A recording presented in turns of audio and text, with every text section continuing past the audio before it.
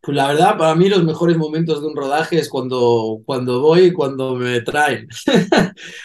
Yo, yo no sé por qué siempre hago muy buenas migas con los conductores, tío. Y, para mí es un momento muy importante el, de, el del viaje a y la vuelta a casa. El viaje a para irme metiendo en la en situación, para irme mentalizando de lo que se viene. Y la vuelta, pues porque siempre comentas el día y te ríes un poco de, de, de la locura que es este mundo, ¿sabes? Sí, sí, sí. Yeah.